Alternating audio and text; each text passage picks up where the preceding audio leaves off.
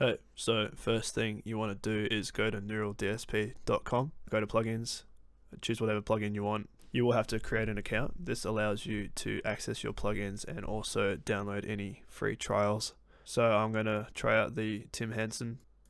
So you will have to download iLok. Once you have everything installed, you'll have your archetype Tim Henson or whatever pack you download uh, readily available. And then all you have to do is go to FL Studio, go to the mixer console, click down, click more plugins. Bottom right hand side, there's manage plugins.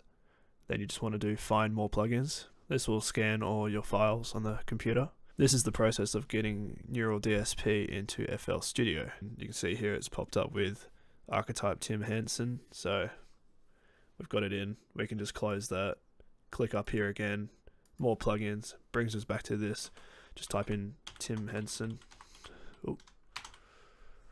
And there you have the plugin.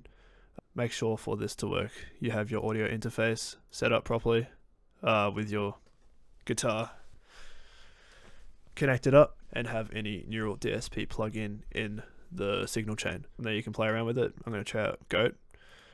Uh, and yeah, thanks for watching.